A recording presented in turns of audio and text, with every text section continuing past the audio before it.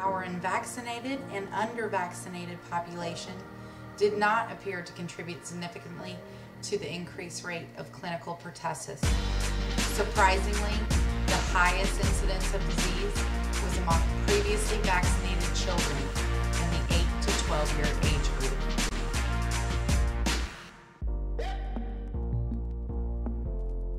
Based on mathematical modeling, vaccines designed to reduce pathogen growth rate and or toxicity may result in the evolution of pathogens with higher levels of virulence.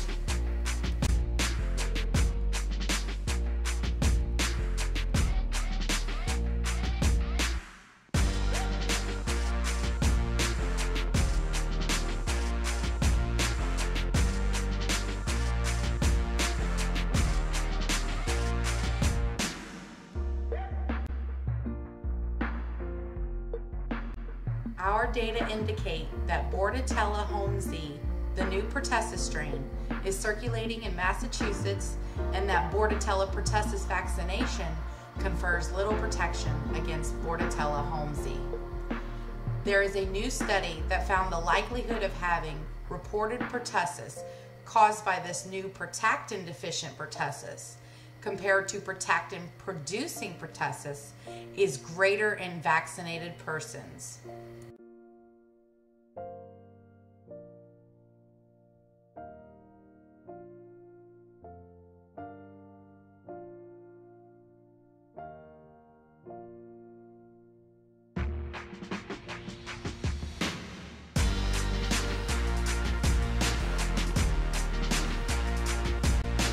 That new study goes on to say, case patients having received at least one pertussis vaccine dose had a higher odds of having pertactin negative Bordetella pertussis compared with unvaccinated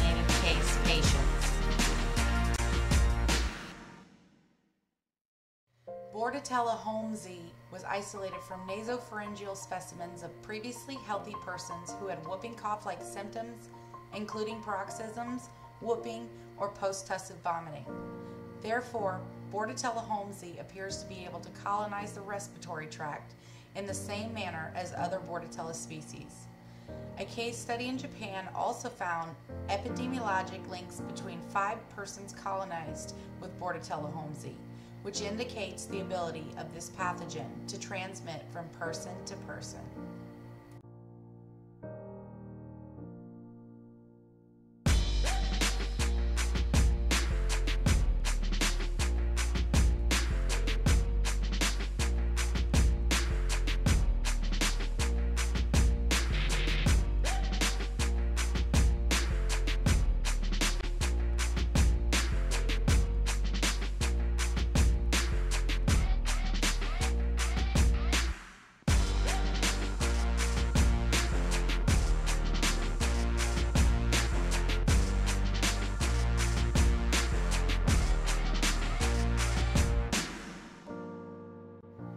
Showed that acellular pertussis vaccination resulted in an approximately 40-fold increase in Bordetella parapertussis lung colony forming units.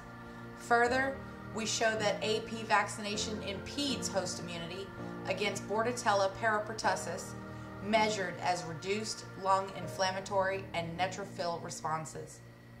Thus, we conclude that AP vaccination interferes with the optimal clearance of Bordetella parapertussis and enhances the performance of this pathogen. Our data raise the possibility that widespread AP vaccination can create hosts more susceptible to Bordetella parapertussis infection.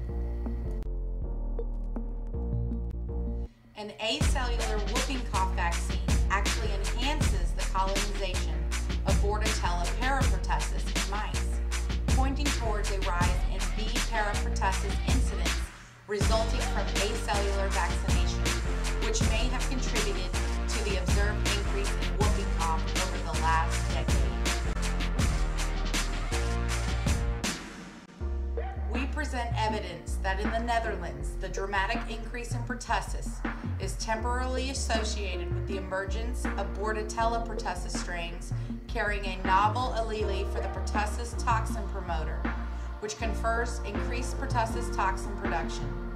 Epidemiologic data suggests that these strains are more virulent in humans. We discussed changes in the ecology of B. pertussis that may have driven this adaptation. Our results suggest that vaccination may select for increased virulence.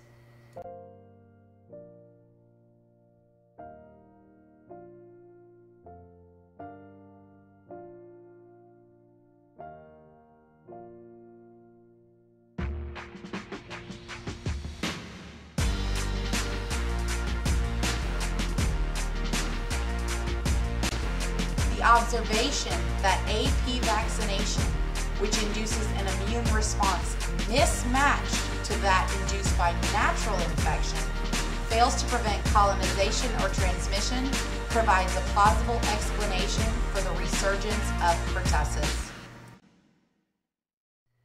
Our data suggests that the current schedule of acellular pertussis vaccine doses is insufficient to prevent outbreaks of pertussis.